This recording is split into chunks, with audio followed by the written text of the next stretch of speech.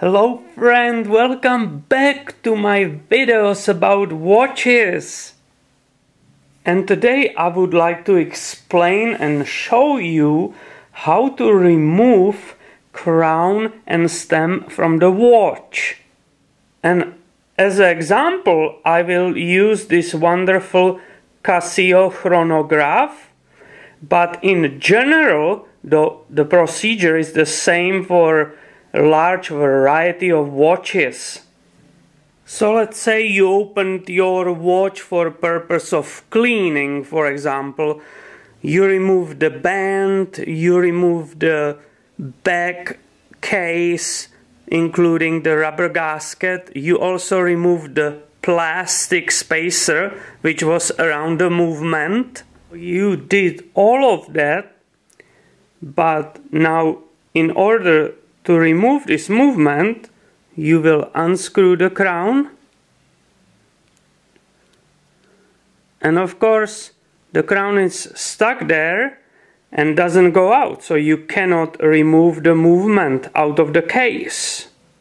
So you are looking for some release button which you will most of the time push in and that will release the crown and the stem to find that place where you will push you definitely need magnifying glass because there might be even text or pointer to it but you cannot read it without the loupe. and after carefully studying the movement I found a very very small text which says right here push and there is an arrow towards to this area. On this Casio watch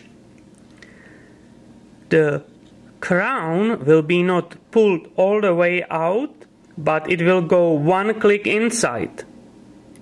Click perfect. So I have it in the ready position. Now I bring my special tool and very gently and carefully will insert it in that release hole. Very gently push down there. And look it lets me release the crown and the stem. I can remove the tool out. Now finally the movement is free and can be removed from the case. To install the stem back I first nicely cleaned it and you don't need a tool anymore. Again very gently this is very fine mechanics very gently and carefully you push it inside and turn the stem clockwise. Just make sure it's nicely in the place. And here you can see the watch is nicely running. If I pull it all the way out I can adjust the time. So please stay tuned, even better subscribe because many videos about the watches are coming very soon. Thank you for your time and have a wonderful day.